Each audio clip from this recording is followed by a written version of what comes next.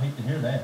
Yeah, he's got two lots on Pleasant Ridge, uh, in LaFollette, and he's got a trailer lot between LaFollette Jacksonville and Rodney Lane, all the hookups, and he's got a ninety-three PT Cruise, so, Okay.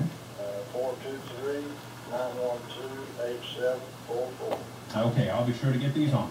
Right, uh, people keep you in prayer. Okay, absolutely. We'll pass it on. Okay, thank you. All right, uh, he, his.